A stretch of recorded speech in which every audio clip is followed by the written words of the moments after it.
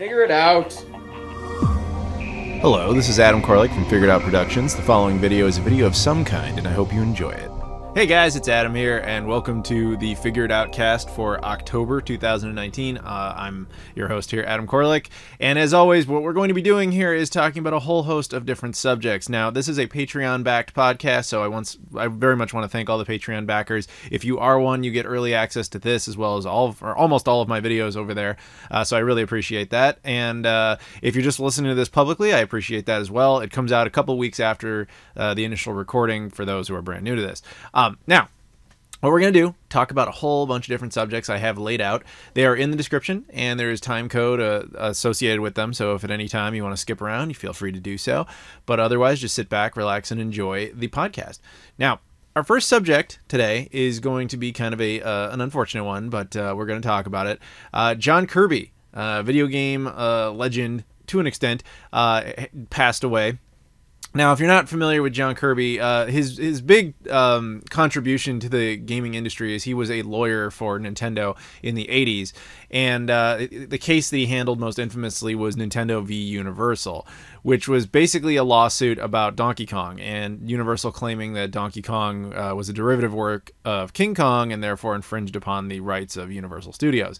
Um, John Kirby successfully argued this in court and ultimately prevailed. Hence, we have Donkey Kong at all today.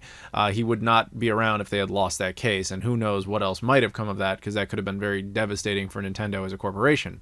Um, now, ultimately, in, in, an effort to honor him back then, that's actually where the Kirby character gets his name from. Is John Kirby.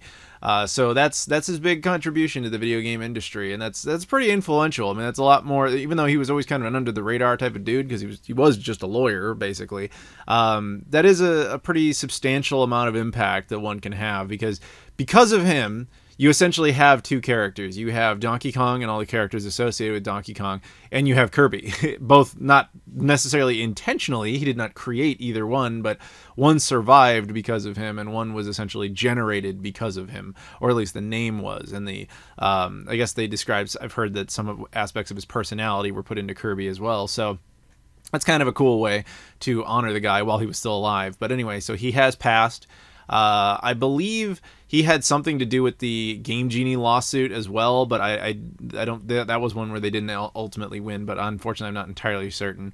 Um, for a, a, little bit there, I, I misunderstood. I thought he was also I confused him briefly with Howard Lincoln, the guy who ultimately went on to argue against the ESRB about Night Trap and all that stuff, but that wasn't him. That was John Kirby is like I said, primarily known for his Nintendo versus Universal lawsuit. So rest in peace, John Kirby. And everybody continue to next time you play anything with Donkey Kong in it or with Kirby in it, just remember this dude made that happen one way or another. So, R.I.P. John Kirby. Now, uh, the next subject we have here is kind of an interesting one. Apparently, this happened not that this happened back in like March of this year, but it didn't really get much attention until recently. Uh, so there was a lost prototype found of a Star Wars game for Sega Saturn. Now, here's my understanding of the situation, and I'll just kind of uh, brief it because the Sega Saturn Junkyard or the Saturn Junkyard did an incredible video about this if you want more information. But basically, uh, in the mid 90s, uh, there was a Star Wars game being developed um, by, I believe it was actually Sega, not necessarily LucasArts, or at least Sega had commissioned two, because they had two games in the works. Uh, one was a uh, Star Wars arcade reproduction for the Sega Saturn, probably very similar to the 32X game that we got and then there was this, a unique game made wholly for the Sega Saturn. Uh, now, both projects never came into existence. In fact, the Sega Saturn actually has no Star Wars games on it. Fun fact neither does the Sega Genesis. The 32X does and the Sega CD do, but for some reason the Genesis doesn't, and the Saturn doesn't. Uh, it wouldn't be until the Dreamcast where you'd see another Star Wars game show up on Sega hardware. So, anyway, uh, this game was in development at one point. It was announced in you know a couple of publications, and it was called Star Wars Rebel Strike. Ultimately, that name went on to be used in a GameCube game, the um, the third in the uh, Rogue Squadron series. Um, there's probably no connection there. I mean, Rebel Strike is just a good name for a Star Wars game. Now, the demo or not demo, the prototype of this surfaced uh, a few months ago, and it looked very limited and there was no real information on it. But just recently, the prototype was actually leaked. Anybody can go ahead and download it and check it out.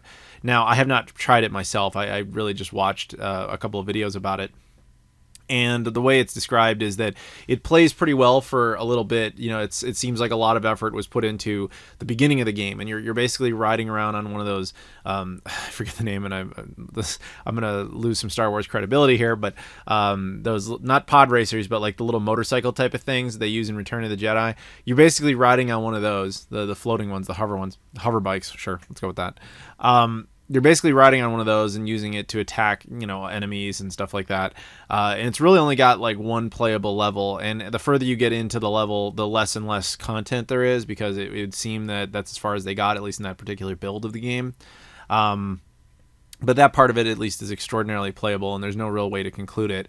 But uh, why it was ultimately canceled remains unknown uh, and it would be very fascinating to see what that game could have been because I, I think the Saturn could have sorely used a, a good Star Wars game. I mean, I like the Saturn, but it, it is missing a lot of content, and that has to do with a lot of history behind the Saturn and the behind the scenes of it, and how it was just horribly mistreated in North America and Europe. Um, it's it's kind of cruel, actually. You know, uh, while I was never super into the Saturn, I do recognize why it would be frustrating to someone who really is, because especially in Japan, where it actually was successful, there's so much content produced over there that never came out here. Even stuff that would surprise you. Like, um, this is kind of a side note, but like, there's games like a fighting game called Rabbit made by EA that only came out in Japan. EA of all people.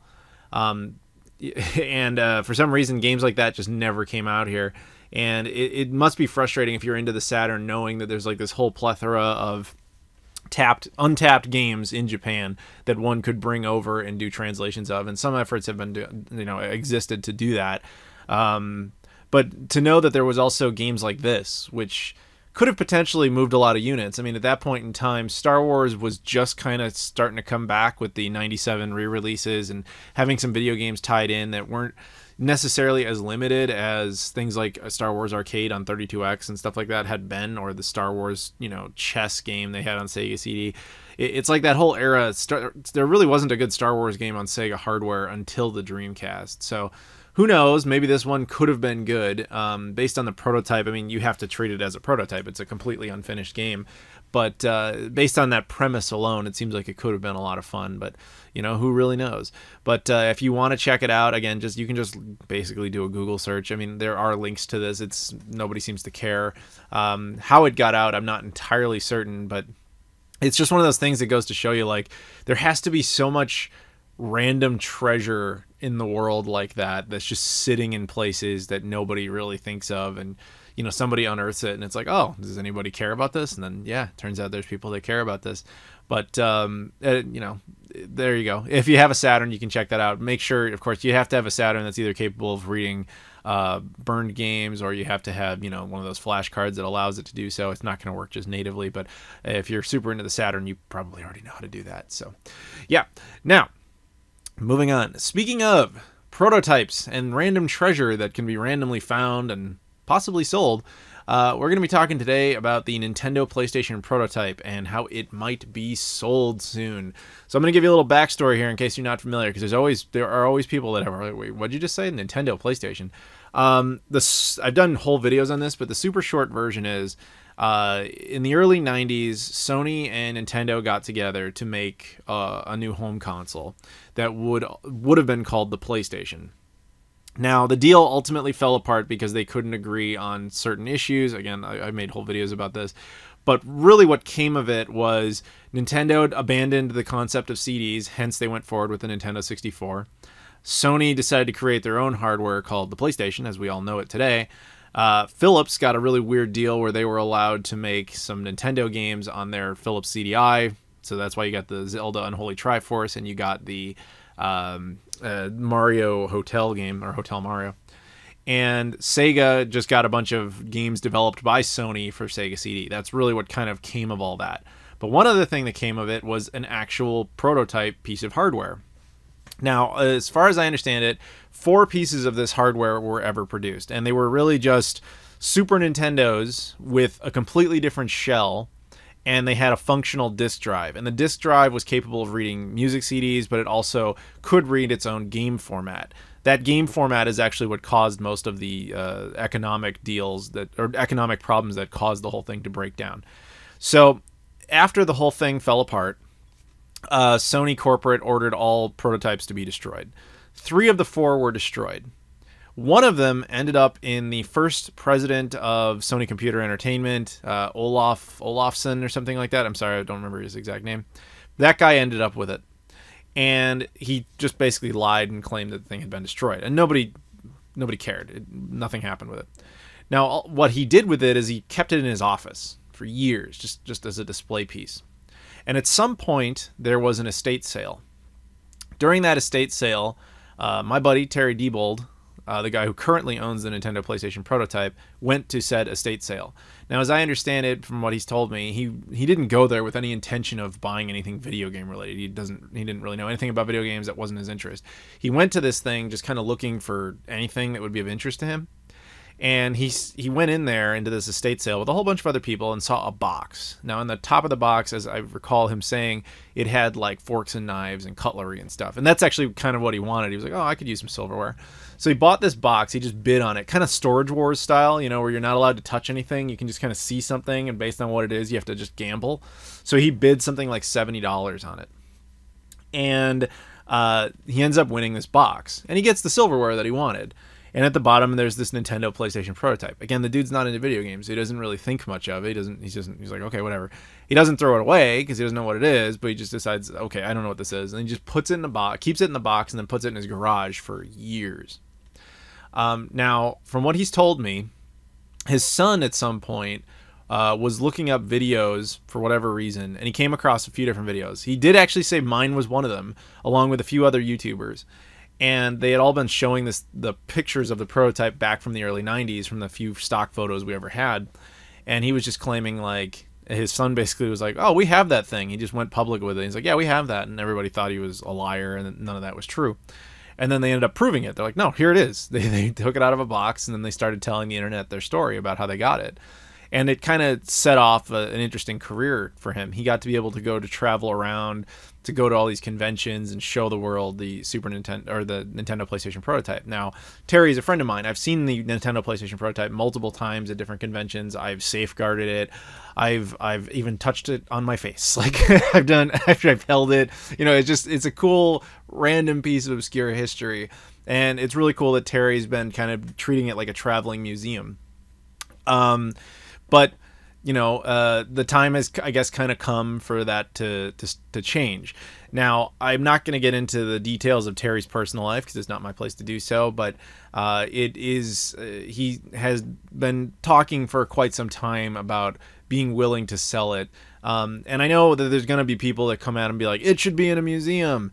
And it, you know, you're greedy, you just want it for money, you bought it for not that much. And it's like, yes, but it's hard to that's not really a fair argument because it, doesn't really understand terry's personal situation. Uh, without getting into too much detail you have to understand terry is a um, uh, a war vet and you know he doesn't have much in the way of those types of options uh, at his age.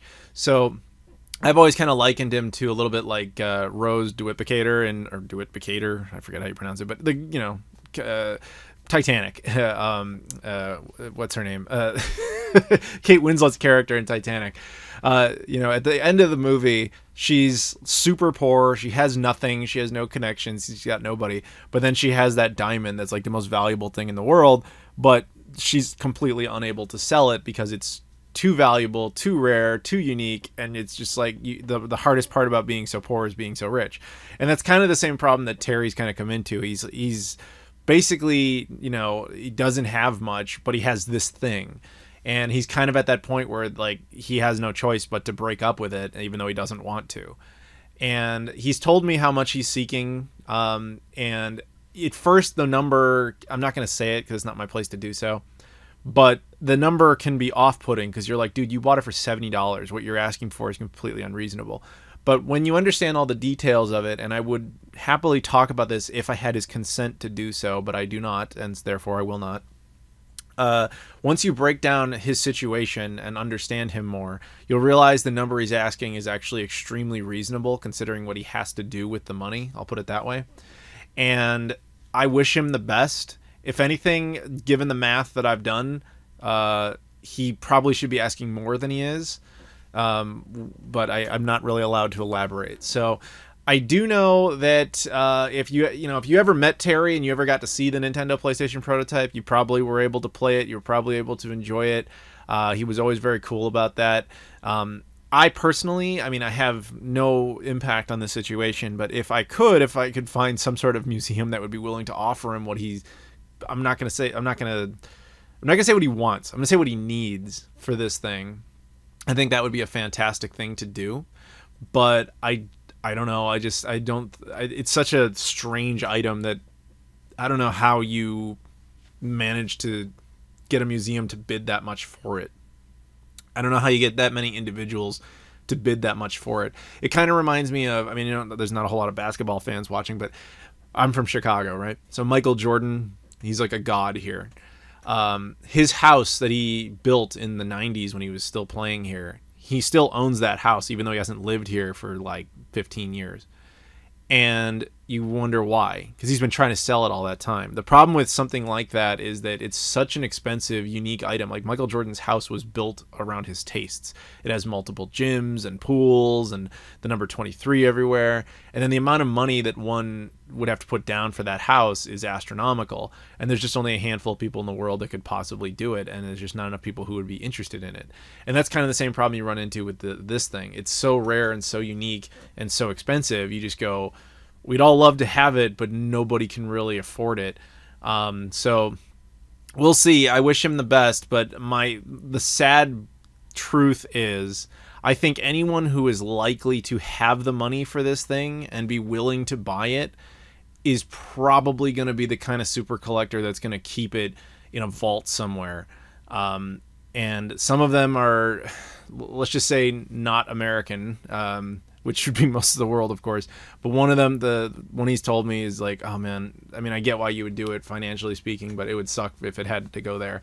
I personally would love to see some major video game museum or some sort of technology museum uh, put up a bid for this thing um, and have it be public that way. You know, a competent bid, not not like oh we'll give you a tax write off or anything like that. Like you know, like a real you know bid.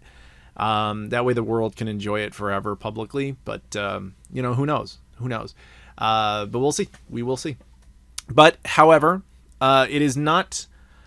It's not done yet. He hasn't actually sold it. That that person hasn't come forward. More or less, it's just been kind of an advertisement as of late that he's more willing to sell it. He's been talking about selling it for quite some time, but I think now it's becoming much more real. Um, so uh, I'm happy to announce today in my next subject here, kind of combining the two. Uh, first of all, PRGE, Portland Retro Game Expo 2019. I will be at Portland Retro Game Expo, uh, just kind of wandering around as kind of an informal guest. Uh, with all that kind of stuff covered, although I'm not really being advertised as being there, but I will be there. I don't have any panels or anything. I'm just kind of chilling. Um, I will be there, and so will the Nintendo PlayStation prototype if you have not seen it, this could be possibly your final chance to do so. Um, it will be there publicly with Terry, um, as it usually is for stuff like that. But I talked to him literally today, and he, while he knows he'll be there for that, this could be the end. This could be the final time it's ever publicly displayed. I mean, again, we don't know where it's going to end up, but it's possible. So if you have a chance, if you've never seen it and you've always wanted to, you know, put up or shut up time. It's basically where it is now. So, unfortunately, the majority of you will have heard this podcast after PRGE, which I apologize for. But yeah, well, hopefully it went well. That's that's really all I can say about that. But um, yeah, PRGE. Uh, for those of you who are Patreon backers, now you see why getting this stuff early is somewhat helpful. Anyway, uh, so yes, that's the couple of stories there. Um, next up, though, in regards to uh, oh, I want to continue on PRGE though, just for a second. Portland Retro Game Expo, I've only been once. I went there last year, and I gotta say, that is the definitive convention for retro gaming. Um, I've been to a lot of them across the country, across the world, actually, in different countries as well. And I've never seen one that can compete with PRGE. It is by far the biggest, and that includes a lot of the ones that people people would know. Um, you know, including Too Many Games. Too Many Games is probably the second biggest one. I can't. The only one I can think of that's bigger or more impressive is PRGE. Um, But uh, if you've ever been to too many games, then you've basically been to diet PRGE, and that's the best way I can put it. Um, but nothing else I've ever been to is even within that conversation as far as scale.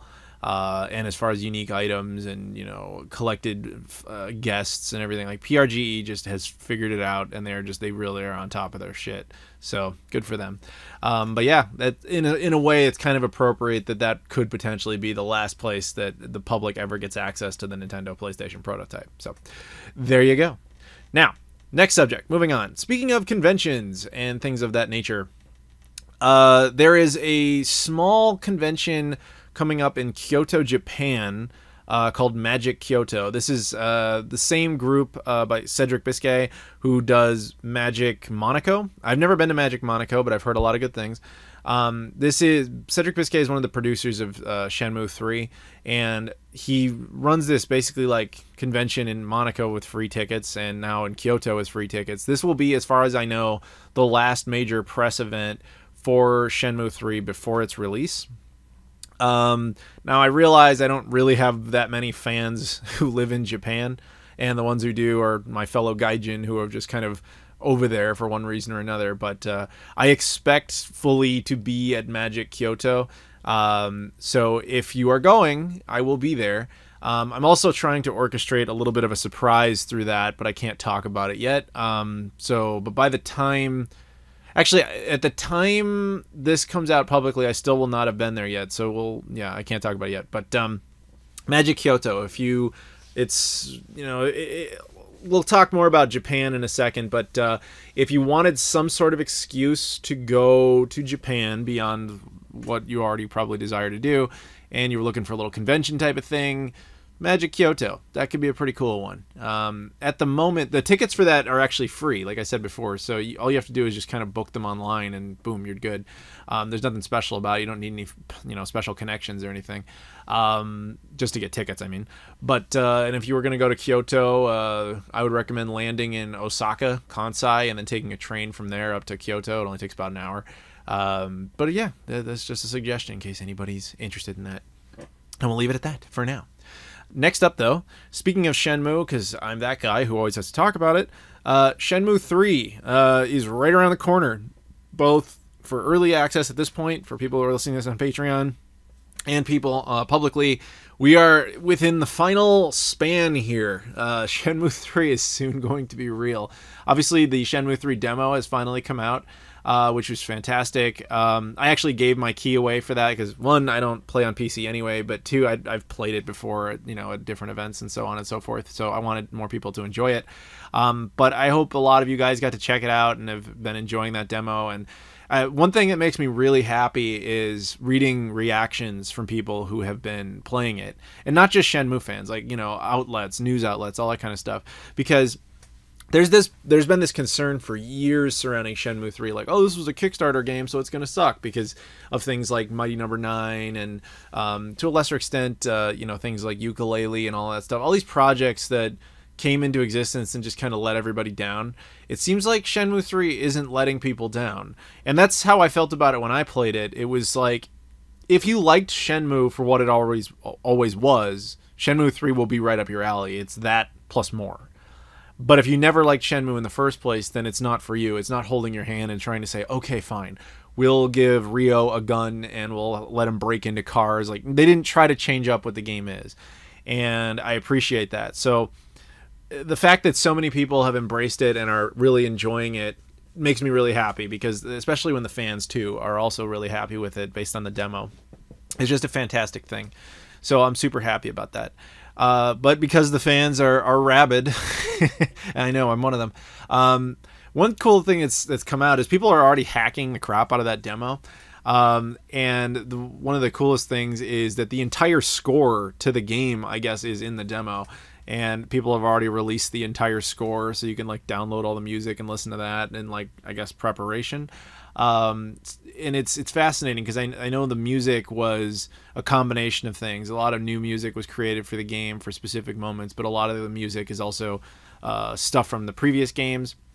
and a lot of it's also unused tracks because I always try to tell people this like you know you you listen to all the music in Shenmue 1 and 2 and you're like there's so many different pieces of music written for these games it's insane and it's like you don't even have you have no idea uh, they wrote a ton of music back in the late 90s early aughts for Shenmue and only 20% of it was ever used for the first two games which and Sega gave uh, Yu Suzuki and EaseNet or YSNet full access to the remaining archives of music. So they actually have tons of music to pull from. And that's you'll notice it because there's a lot of stuff that's very similar but there's a lot of stuff that's very new and a lot of stuff that's very recycled in a good way. Um, so it's it's just it's all coming together guys. It's all coming together. I'm super excited about it. I can't wait to pl- wait to play the final game. Um, i'm in a fantasy world. Here's what i'm hoping to do. Uh, I'll be in Kyoto for that event. Uh, then I want to come back to Chicago and just kind of shut down for a little while and just play one and two right before three comes out, if possible. Um, I don't know if my schedule will allow me to do that. Um, I, I, actually I'm, I don't even know if my schedule will allow me to play Shenmue three when it comes out. How de- how depressing is that? But if possible, that's that's what I want to do, and then I'll just go offline for days and days and just enjoy myself playing that. But we will see. We will see. Uh, I'm hoping. Can you guys tell me what you think? Because by the time this comes out publicly, we will only be a couple weeks away from the game, and I'm just curious who's excited, who's interested, and I, I fully recognize that not everybody is a big Shenmue fan. And I appreciate you guys so much. Not only those who are already fans or those who decided to become fans partially through my channel, whatever it is, but to those of you especially who never had an interest in it and still don't, but listen to this anyway and support the channel regardless. You guys are the true heroes. Seriously. I appreciate you and your patience. You guys are the best. Now, moving on. Speaking of people who are the best, it is time for some shout outs. Uh, all of the following people are Patreon backers. Every single one of them is at the appropriate level in which they get a shout out. Now, at any time, if you wish to, you can join the Patreon. You can help support this channel. You can keep everything going, which I really do appreciate because I'm not going to lie, that's getting a lot harder. Um, but still, I appreciate you guys so much. Uh, and for I think it's five dollars a month, you get early access to videos and all that kind of stuff. And these guys, uh, for what they're doing, they get shout outs plus that. And you can check out the Patreon. There's always a link in the description of all the videos, and you can see whatever you want to see uh, and see all the perks and all that kind of stuff. But shout outs. First up, Corey Marsh, Jesse Perez, Joseph Tamburino, Luis Bonilla, Michael Kelly, Eric Peralez, and Trey Wagner. Once again, that's Corey Marsh, Jesse Perez, Joseph Tamburino, Luis Bonilla, Michael Kelly, Eric Peralez, and Trey Wagner. Thank you guys so much for helping to keep the lights on. I really do appreciate it. You guys are the best. Moving on, though. This is a small subject because of how big of a subject it actually was. Um, I did a video uh, that I think will be public by the time both, definitely by the time this podcast is public, but also by the time that uh, this podcast is available to Patreon backers. It'll be available to everybody. Um, I did a video about Japanese travel tips. Um, now I have no idea what the reaction to that video is yet. I I know that that video was requested for a long time. A lot of people have been asking for the last couple of years, like, I want to go to Japan. What do I do? Because I've been there a bunch of times now, and I picked up a lot of stuff. So I ended up making a 97 minute video full of advice, and you know, I, I, there were people I was talking to about this that said maybe that was excessive and maybe I should have done it shorter, which you know maybe probably true. But I just didn't want to be. I didn't want to make a video where I went like top ten things you need to do in Japan. Like I, I, I really don't respect videos like that. Um, what I wanted to do was make a kind of an off the cuff video, just two people chatting. You know, well, me chatting and you being the other person, the listener kind of just absorbing whatever it is we have to talk about. And of course, you're free to chat with me in the comments. And if you have any other further questions, I'd be happy to answer them. Um, I, the only reason I'm kind of making this, I guess, half apology is I know it was long, and I do take full responsibility for the fact that the structure of that video is kind of all over the place, and I'm sorry for that. Um, but hopefully, anybody who's interested in going to Japan will get some use out of it. Um, it was very comprehensive, obviously, 97 minutes worth of content. Like it's there's a lot in there that's just like you should try this, you should do that, blah blah blah.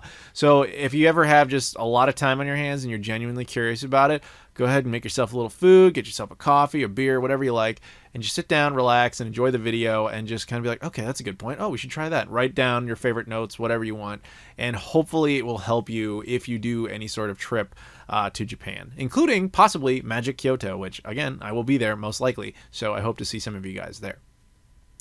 Next subject. Uh, all right, so this one I, I'm only going to preface this subject because I want to know really if you guys want me to elaborate on it.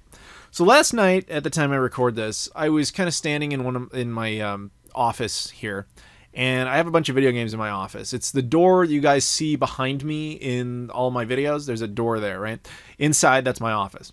Now, there's a ton of video games in here, and I was just looking around at some parts of the collection, and I just started thinking by looking at certain stuff. I was like, that console, you know, like, and I won't give any specific examples, but I'm like, that console, you know, that one I want every game for, and that one I don't. That one I want some of the games for. That one, you know what I mean? Like they were different like mental rules for myself. And I just started thinking about like why that is. you know, like why why is it that I want every game I can possibly find for this one? Why is it for this console I want every single one, no exceptions? Why is it for this one that I want just some? Why is it this for this one I don't want any? You know what I mean? Like it's all over the place. And I kind of thought about possibly doing a video entirely on this subject about bringing up some consoles, putting them on the table, and we just sit there and chat about like my personal tastes in collecting and why I do what I do with it.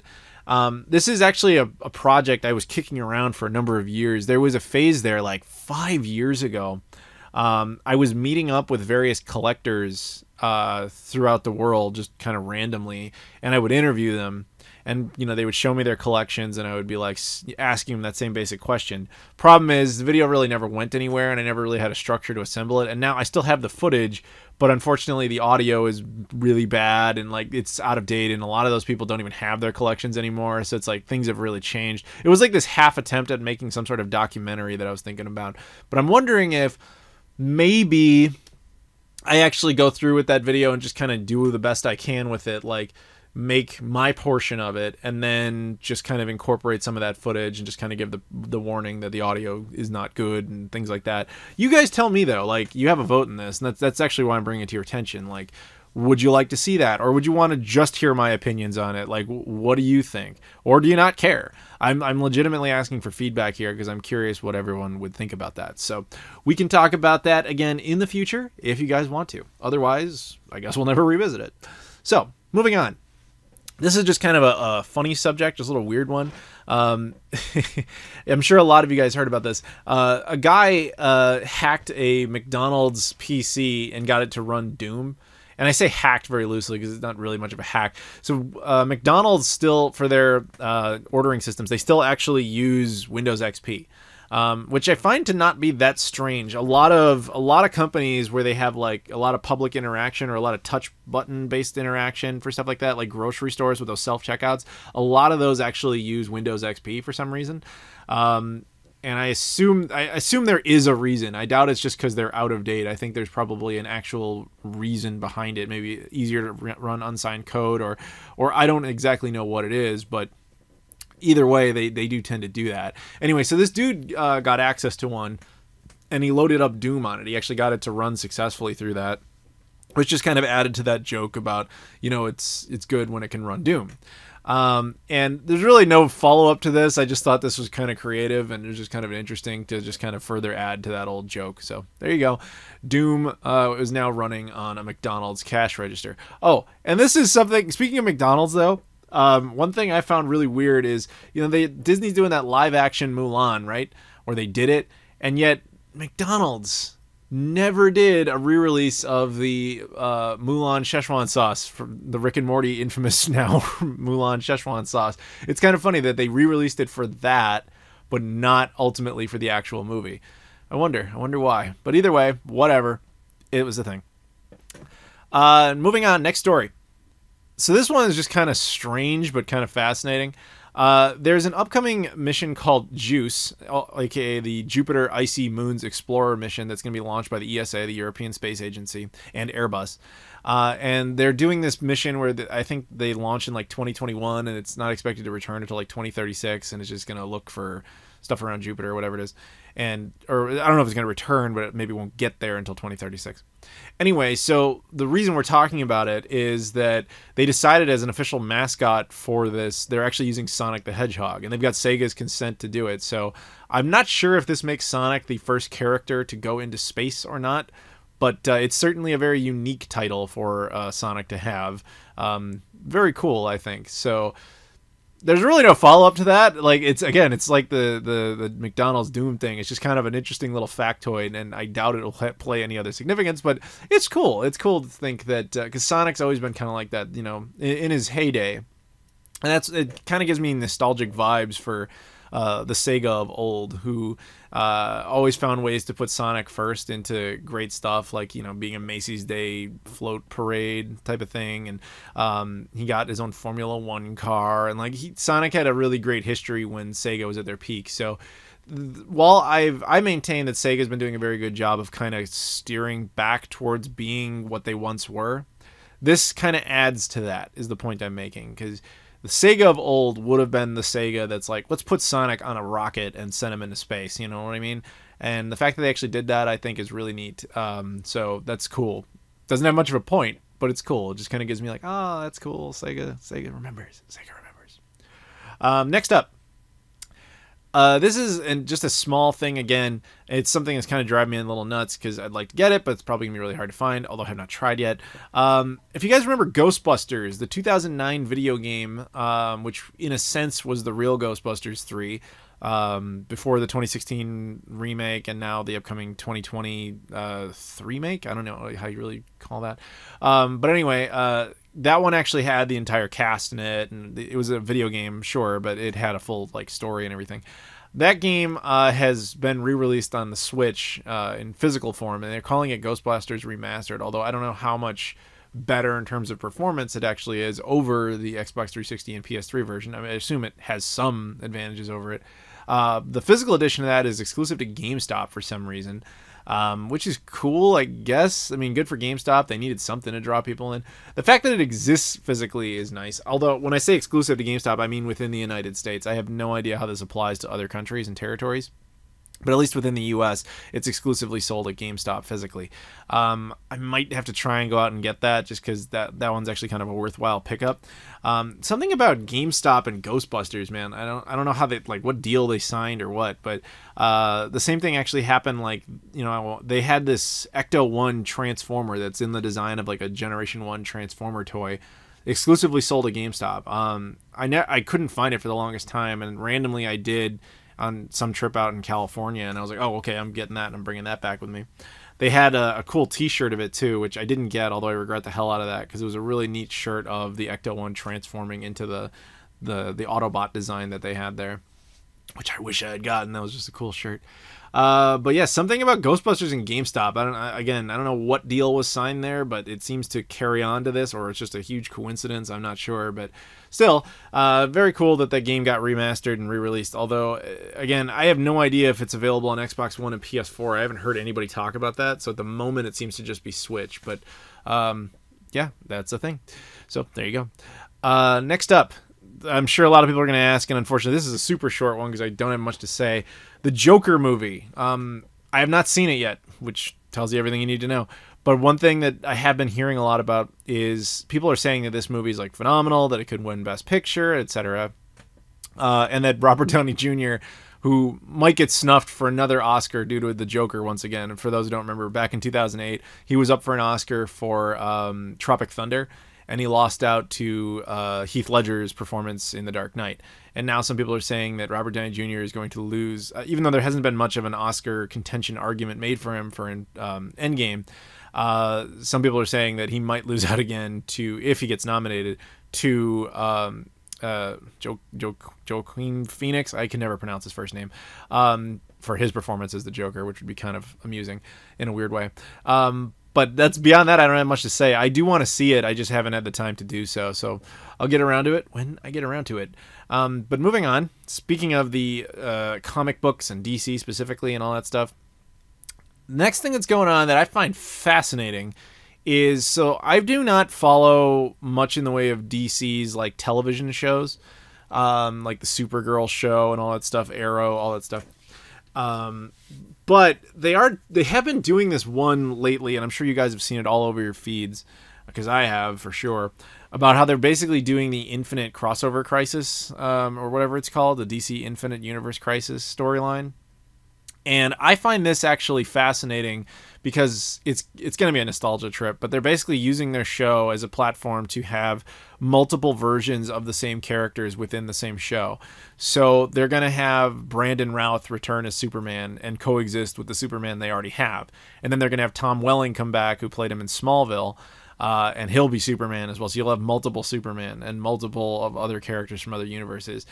I want to see that just because I think that'll be a cool postscript to, you know, Superman Returns, which we never really got, and a cool postscript to Smallville, which we kind of got because they had the season 11 comics, but I never read those to keep it real with you. I think it would be cool if they did the season 11 comics as like an animated movie. Um, I doubt they will, but that would be really neat. Um, maybe they will. Maybe this will be successful enough and create enough Smallville demand that they'll, you know, because Warner Anim- Warner Brothers Animation has actually been really good with the whole DC stuff. So maybe they could do that. That'd be neat. But um, I'd like to see that. And the other thing that I find fascinating about it is people crap all over Superman Returns, and there's a lot of reasons to do so. I I can never sit here and tell you it was a good movie, but I will defend it on a couple of points. One, um, it needed to exist, and people don't really know that. There was a, a legal reason that movie had to exist. If uh, you study the history of the Superman franchise, after Superman 4 fell apart, its rights ended up in the hands of a guy named Jon Peters. Jon Peters is best known for these Kevin Smith bits where, you know, he's talking about making Batman with him and ultimately making Superman with him.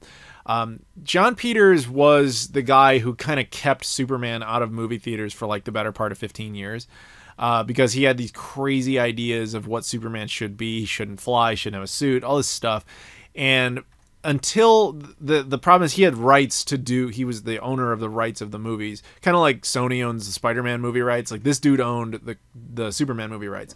But the way that contract worked is it really only worked as a one-time thing. Like as soon as they made a superman movie he authorized he would only he would no longer have full retaining control of the rights. He would just have part of it. So they had to make a movie to satisfy him to basically get the rights out of his hands. Superman Returns was that movie. And we should just consider ourselves lucky that they made as many positive changes that they did. Um, another thing that people never really know about that movie is its existence unlocked the rights to another Superman movie. If you've ever heard of Superman 2, the Richard Donner cut, you have Superman Returns to thank for that movie. Uh, and the reason for that is another story. Superman's always got chaos in its productions, but uh, in the late 70s when they were making Superman 1 and 2, they were making them together at the same time. Richard Donner was doing both. He ultimately finished Superman 1, but he only got about 80% of the way through Superman 2 they decided not to keep him for Superman 2 and then tossed him aside and said, We brought in this guy named Richard Lester and he's going to do Superman 2. So they had to, from uh, the rules of uh, Directors Guild and all that type of stuff, they had to throw out a large percentage of his footage so that Richard Lester could have a directing credit on the film.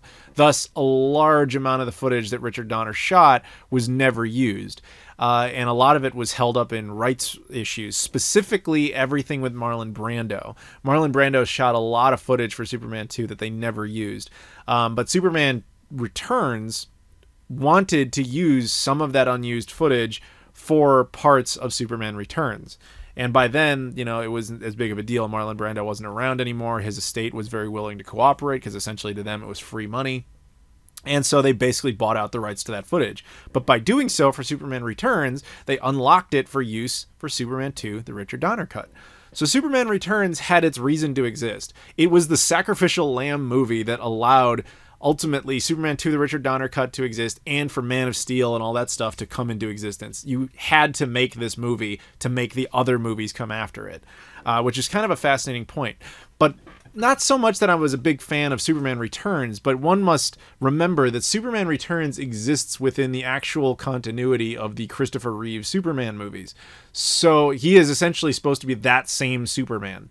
So, okay, one can argue whether that's cool or not, but he is around and he is going to continue to play the character, which I think is fascinating. So when you watch this Infinite Crisis thing, as weird as this might sound, you are looking at the Christopher Reeve Superman in this universe. So you have the Tom Welling Superman and the Christopher Reeve Superman, even though the Christopher Reeve Superman is played by Brandon Routh. Do you understand? Like, I think that's it's kind of fascinating. It'll be a nice postscript to both the Donner universe, if you want to call it that, and the um, the Smallville universe. Now, I'm wondering if they're going to have any other Superman cameos. Like, there's other people who have played Superman, uh, both animated and live action. I think the only other one you could get live action that would be kind of interesting to people uh, would be, um, other than uh, you're not going to get, uh, uh, uh, with, why am I, Henry Cavill. You're not going to get him, not right now. But what you could get maybe is um, Dean Cain. He played Superman for four years on Lois, The Adventures of Lois and Clark. I doubt it because they haven't mentioned him at all. And if he does come into that, it would be kind of fascinating to see that play out. But his version of Superman was always kind of campy and weird. And then I don't know how you do that without getting Teri Hatcher, which maybe you could do. But um, yeah, they haven't mentioned it at all, and I think they're doing really well with the two that they've got. So I'm I'm pretty interested to see in what that ultimately ends up being. Because the other thing you got to remember about it is this is like an episode of a TV show. This is not a movie or anything. Although with all the attention they put around it, you would think it was. Um, but how many episodes of random TV shows do you see that have this much buzz about them? So, and this and this much buzz at the production point. We're not even at like the promotional marketing standpoint. We're at the production side of things. So it'll be cool because this will be I don't know anything about that DC show that's actually in existence, but it will be the closer for two other Superman storylines, which is kind of fascinating to me that you can do that. Um, so good on them. I'm excited. And now, finally, speaking of weird deals and possibly closing things and all that stuff, we're going to talk about the Spider Man deal because this has been updated. So, for those who don't know, uh, Spider Man is uh, obviously a Marvel character and therefore the property of Disney. However, uh, they do not own the movie rights to the characters. Sony does. They've owned him since the late 90s, I believe it is, and they have no interest in giving him back. and why would they? So there's a long, convoluted story behind this, but all you really need to know is that for Spider Man to have appeared in the two uh, Homecoming and Far From Home movies, as well as uh, the three he did, the two Avengers plus Captain America Civil War, that those five picture deal. Sony and Marvel had to come to a deal together, and they did, and that's why that happened. Now, the deal came to an end, and everybody just assumed naturally they were going to extend it. They did not, at least not initially. Uh, and so, my previous podcast, I, I talked about this for quite some time and how, frankly, irritated I was about the whole situation. Now, amusingly, the exact same day that my po- podcast went public, they also announced they had decided they had found a way to kind of temporarily extend the deal. And so I want to take some time to explore that because what we now know is Spider Man will have another single standalone movie within the MCU, and he will be entitled to one additional appearance within whatever Marvel wants to do with him. So uh, let's. There's so much to break down here. First, uh, a lot of the story that's coming out is that Tom Holland, who plays Spider Man, actually personally called up Bob Iger, the head of Disney, and said, like, you got to work this out. And if you've been following Tom Holland and the story around him, you can tell he's siding more with Disney than he is with Sony. Uh, and you can see why, because uh, they've been handling the character really well and Sony hasn't. Um, so, whatever. Either way, they, they did come to an arrangement. And the deal, as we understand it, is as follows Financially speaking, it's pretty much the same deal they had before. Um, but we think, and nobody knows for sure yet, that the deal, the concession that Disney had to make was that um, Sony has been trying to create this like Venom verse, like their own Spider-Man universe. I've been talking about this for a long time, an attempt to hijack the MCU, make their own Marvel movies, and make you think that they're part of the MCU, so that you go in and see them thinking they're part of that greater tapestry of story when they're not. Um, now, when it came to Venom, there's nothing Marvel could do to actually stop them from making it. So, as we understand it now, Sony knew they couldn't put Spider-Man in that movie. They knew that. They uh, they couldn't put Peter Parker. They couldn't put Spider-Man, but they could use any of the other characters they wanted to that they have the rights to, but none of the MCU characters.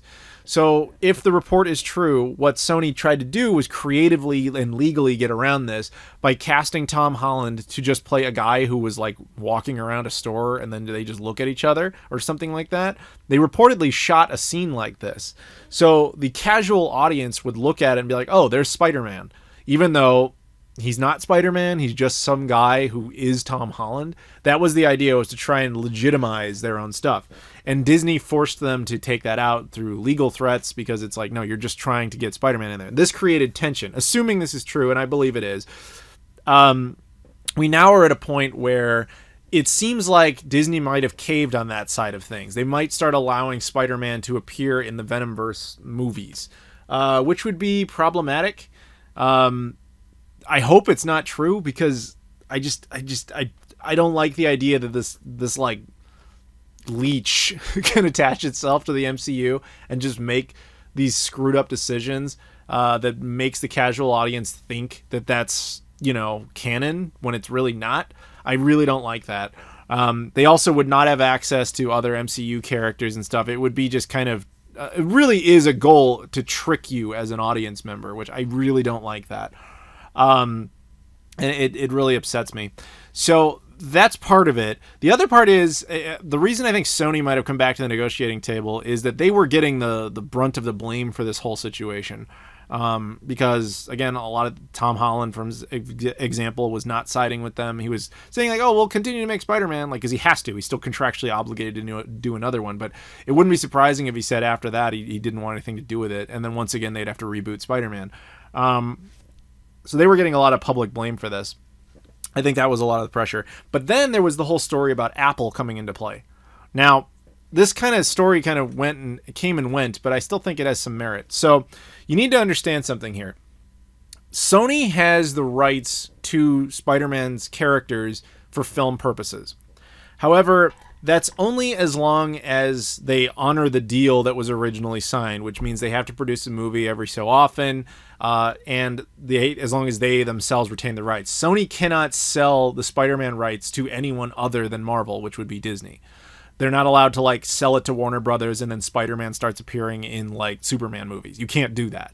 Um, if if ownership of Sony Pictures changes, then the rights to Spider-Man revert back to Marvel for free with literally no cost, not a dime, nothing. So here's the situation as we uh, can speculate based on what we know. Uh, Sony Pictures has not been doing that well for a long time, and Sony Corporate in Japan has been kind of pushing for the possibility of perhaps selling the film division. Now, if they sell the film division, Spider Man goes to Disney for free, regardless of who they sell it to. They could sell the entirety of the film division to Warner Brothers or Paramount or whoever, and it doesn't matter. Spider Man is not part of that deal. He goes right back to Disney for free. That's a very important thing to understand. So Sony knows they have much less um, weight with the uh, idea of selling their film division to anybody other than Disney. Because Disney's the only one who could look at it and go, we want all this because it will include Spider Man. Um, so make sure you understand that. It basically ups the value of the sale substantially, but only to Disney. However, as Disney has been absorbing so many things lately, as recently as Fox as well, I don't think they're really interested in absorbing Sony eh, for their entirety. Plus, at that point, you're getting to like, while it's entertainment, you are getting into legal territory where it might be considered too much of a monopoly for Disney to have this many different film studios under its belt. So that can create problems. So it's unlikely that Disney would buy out Sony Pictures wholesale. The only other legitimate offer that anyone has kind of seen is from Apple. Yes, Apple. Now, the reason Apple is interested in possibly absorbing Sony Pictures is Apple is trying to create more content the same way Disney is uh, for its own streaming service. That's why Disney bought Fox was to get all of their backlog to add to their own Disney Plus streaming service. Apple TV needs more stuff. And absorbing a pre-existing film studio with a giant catalog of things does make that more possible. But Apple's not stupid. They know Spider Man can't be part of that deal. Disney knows Spider Man can't be part of that deal, and Sony knows Spider Man can't be part of that deal. So if if Sony is seriously intent on being bought out by, say, Apple, they have to cut a deal with Disney first. They have to go to them and be like, well, you know what? We've kind of changed our minds. Maybe we'll sell you Spider-Man wholesale. No, no, no. We're still staying a film studio. We're gonna we're gonna keep being a film studio. We just don't want to do Spider-Man anymore. So we'll t- sell them to you for ten billion dollars. Does that sound good? Which was the actual number that was being thrown out there. Was that at one point Sony was kind of considering selling Spider-Man off for ten billion dollars to Disney. If they did that, there is no reason at that point for Sony to stick around because then they've lost their biggest franchise left and they're just ready to be absorbed by Apple. Which would be that's what Sony's goal would be in this scenario is sell Spider-Man off separately to Disney, then get bought out by Apple because then they get the most money for them. Apple's ideal scenario is to just absorb uh, Sony Pictures knowing full well that they can undersell them by saying, look, your studio is worth X amount with Spider Man. We can't have Spider Man, so we can only offer you this, which would be much less than Sony would want for their uh, situation. And Disney's ideal scenario is to let Apple absorb Sony Pictures and then get Spider Man back for free. Now, none of this can happen quickly. That's not how these things are done. So, in the meantime, you do have to deal with the actual Spider Man movie situation because um, if Sony doesn't deal with it quickly, they lose the rights to it anyway. Hence, they have to continue into production of something. So I think that's actually a large motivator to why they came up with this temporary deal because it buys all parties more time to get the situation resolved in in this weird chess game of three way chess that they're all playing with each other. Um, in the meantime, you can have a Spider-Man movie that has a proper conclusion. That's the thing is another people uh, that people don't know or maybe didn't think of is at the end of Spider-Man uh, 2 or Far From Home, it ends on this ridiculous cliffhanger. But had Sony not renewed the deal, there's no way to resolve that cliffhanger because they're not allowed to use any of the MCU characters. Even like the spin-off characters, like their version of Aunt May cannot be used. Their version of MJ cannot be used. The only person who could be is Spider-Man himself, and he's not even allowed to wear the same costume. So it would have been really hard to. He would have, especially with such an insane, you know, cliffhanger. Like the entire world knows my identity. He would have had to like wake up, you know, in another dimension somehow and be like, I don't know what happened. I woke up in another dimension. I guess here I have an entirely different looking family and nobody knows. Anyway, back to being Spider-Man. Like it would have had to be that level of stupid to have any sort of sense of uh, connectivity. Um, you know, so whatever. I think this was just done to buy all parties a couple more years to figure out what the next move is. And the only reason you're getting the uh, Spider-Man has to go into uh, a Disney movie, specifically probably the new Avengers, which they I think is called Damage Control, Avengers Damage Control. The only reason I th- I think that they did that is just kind of a quid pro quo thing because Disney's like, look, man, if we're gonna help you make this movie and you know extend things, you got to do us a solid and you got to throw us back an appearance. So where they will use that appearance remains unknown. Uh, most people are suggesting that it will be um, Avengers Damage Control, which at the time I record this was announced like yesterday. Then there's been uh, ideas that he might get thrown into something like Captain Marvel to try and like boost, you know, Captain Marvel's kind of appeal, but nobody really knows yet. Uh, it would be interesting to see where he he may show up, but if he shows up in uh, Phase Four at all, uh, outside of his own movie, I don't know, but I, I'm assuming it'll be Damage Control which is kind of an appropriate name considering that they're doing a lot of damage control over the Spider-Man deal. So, and the last subject here, which is just a micro subject, real quick here. I just wanted to say a big thank you to everybody out there for listening. This is actually my 10th anniversary of being on YouTube. Technically, I started the channel back in April of 2009, but the first video I ever put up was actually October of 2009. Unfortunately, that video no longer exists. It was uh, this Power Rangers Dark Knight like trailer I made. You can find it on Vimeo still. Um, but uh, yeah, I had to take it down for like copyright bot reasons, whatever. But technically, I've been making videos on this channel since 2009. And very appropriately, I, you know, and the whole time I've been doing it, many wonderful things have happened, so much awesome stuff. Um, but I never actually made a video that hit 1 million views. And just somewhat appropriately, uh, I finally did. Uh, my Back to the Future 4 uh, movie made out of the Back to the Future game actually did reach 1 million views and it did so only a couple weeks ago like it's very late in september so it was like right there on the cusp of uh, one time in 10 years I, I, did that so i think that's really neat and uh, yeah i'm basically just patting myself on the back sort of but no more accurately i'm thanking you guys for still being here i am a I'm an old war dog of YouTube. Like I am a relic. I have still I'm still around for some reason. So it's awesome. But you guys are are the ones who make that possible seriously with the patreon support I, I, really do appreciate that. And of course just watching and supporting the channel. You guys are awesome. So uh, we'll wrap it up here. I want to thank very much the all the patreon backers especially uh, so we'll give another round of shout outs here. Corey marsh jesse perez joseph tamburino luis bonilla michael kelly eric perez and trey wagner as well as the other patreon backers uh, and everybody who just watches and has been supporting for the last 10 years. It's it's absolutely awesome. Thank you so much and i'll see you all later Oh, if you could like, comment, subscribe, and all that stuff too, I'd really appreciate that. Now, thank you very much. I'll see you all later.